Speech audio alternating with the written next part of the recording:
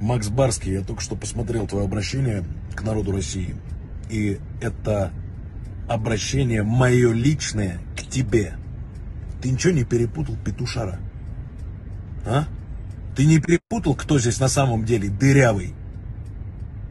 Ты ничего не перепутал, с чьей ложки ты жрал все эти годы? На чьих корпоративах ты плясал здесь в России? Забыл? Я напомню. Максимка,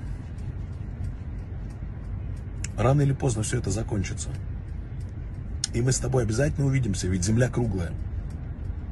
Я обязательно при встрече покажу тебе, кто на самом деле дырявый. Да, еще, пока не забыл. Территория России вычеркивается из моей географии.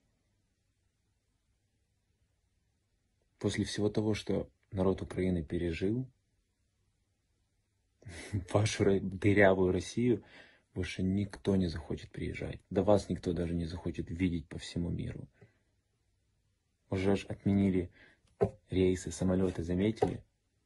Вы гоните все время на Америку, на Европу, а сами комфортно живете за счет европейских и американских компаний. Так вот, смотрите, как медленно вас будут отключать от мира. И вы будете просто жить в своем маленьком вакууме. Никому не нужная Россия. Удачи вам и успехов!